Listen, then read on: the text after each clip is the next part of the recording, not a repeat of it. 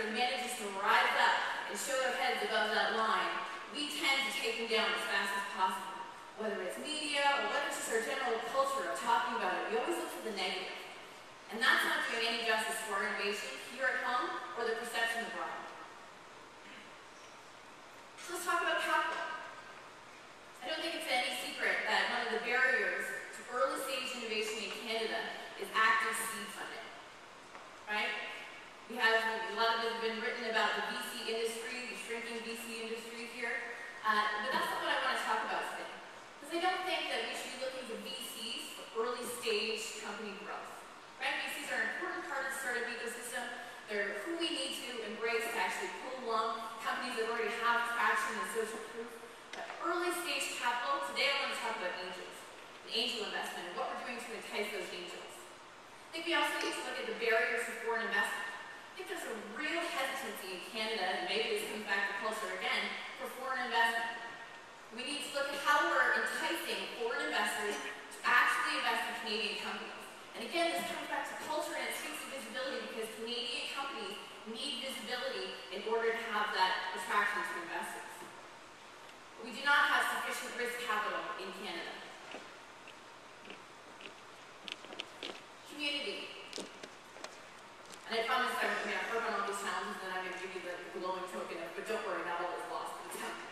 And so the community, there's not enough seasoned veterans and mentors in our startup ecosystem. Right? We have a lot of people who are climbing through the ranks. We don't have a lot of heroes. We don't have people we can point to. And there's weak ties, this is a big generality, but there are weak ties between startup founders. The community is just becoming cognizant of itself.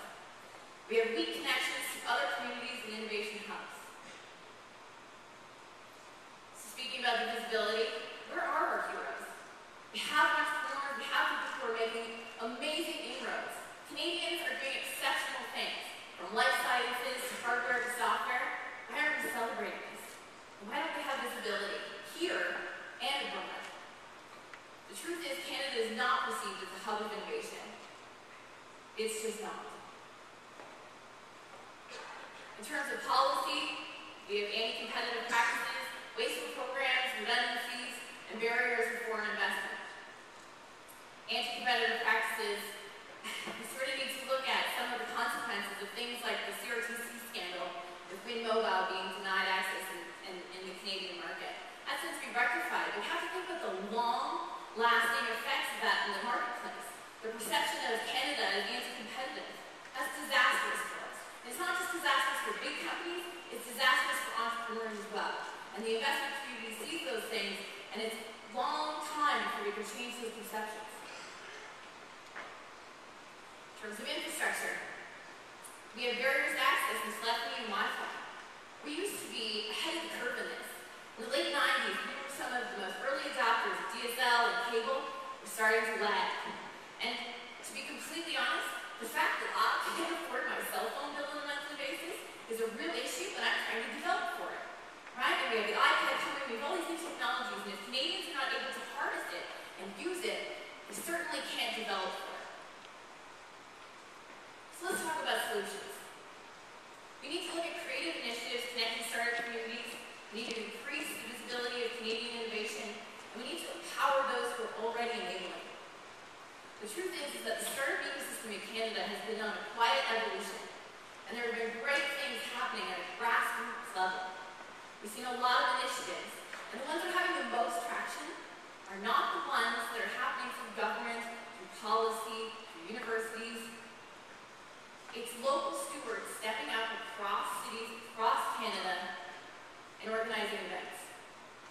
From demo camps to sprout ups to startup drinks, these events are bringing together local communities to engage, network, knowledge share, and it's having tremendous traction. And you know what the greatest traction about these events are? Outside of the networking and knowledge sharing, it's making a community cognizant of itself. The startup community is starting to think of itself as a startup community. And that has dramatic implications. Let's talk about solutions for capital. I'm hoping that our panel today can investigate what we can do to incite angels. Truth is, angels fund 30 times more startups than VCs.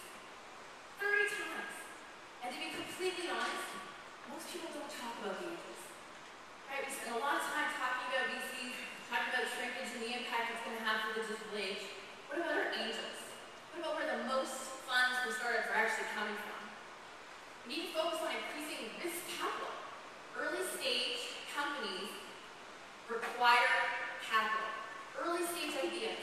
That's where we're seeing a big issue in Canada, a big gap. And in order to answer that, we need to appeal to both local and foreign investors. So policy has an impact on our incentives for risk capital.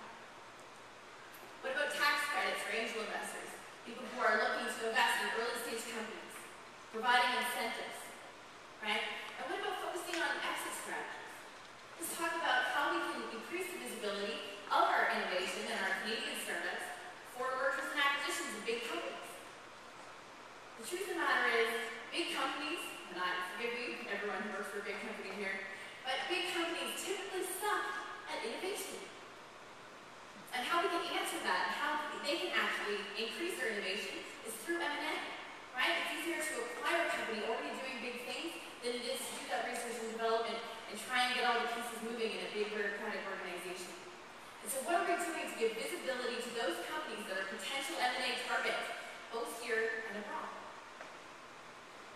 I'd love to see tax credits for exited entrepreneurs who turn around and invest in early stage startups. And this is something we can uh, talk about a bit more when we have our panel, is we actually have a recently exited entrepreneur talking about people giving back into the community, having entrepreneurs who have already been in the game and know the rising stars, can start to feed that loop. And also, look at getting rid of the accreditation for angel investors. Right now, you actually have to be accredited to invest in startups. Right? So we're making people jump through loops before they can actually dive in and invest in a startup. And the community. So we talked a lot about increasing the visibility of innovation and bolstering our heroes. We need to do that. We need to do that formally. We need to recognize I mean, it's a culture thing, and I can't implore you enough to be excited about the innovation that's happening in Canada. But from a broader scale, from a policy scale, we can give innovation to, or give visibility to people who are innovative. And entice our excellent entrepreneurs, people who are actually being successful, to pull them back into the community and get them to be a part of that ever-growing ecosystem. We need to create a sense of an accountability within the community itself.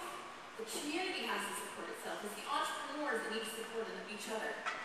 We need to incent mentorship. We need to increase the connections between startup founders across Canada. So there's three tenets that I think for great startup ecosystems. One is a connected and engaged network. Two is that culture of innovation. And three is active seed capital. The truth is we need a loop of exiting entrepreneurs investing hands-on capital in new ventures. Hands-on meaning actually playing a part in those startups. And we're seeing a lot of that start well, blind a lot. We're seeing a little bit of that coming through. Mantella Ventures. And there's uh, a great uh, Extreme Ventures, great example, of Extreme Ventures in Toronto, which is actually hands-on doing pair programming, having their startups all together in the same room, benefiting each other, working together. And that's more of that. This is the kind of stuff that makes a big difference. It gets traction faster. Because we need incentives for risk capital, we need empowered local stewards. We need to enable those who are already enabling those communities. Let's not reinvent the wheel. Let's look at what's working, let's emulate, and let's empower the people who are already hands-on and already leaders in their communities. And the thing we need most is national pride. Right?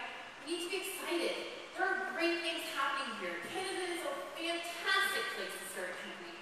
It's a fantastic place to raise your family. So let's sell that to ourselves and then to the global market.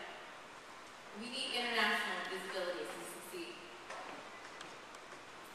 We're going to go into the panel now, but I do invite you to uh, check out some of the great Canadian digital companies that are already having a massive impact here in Canada.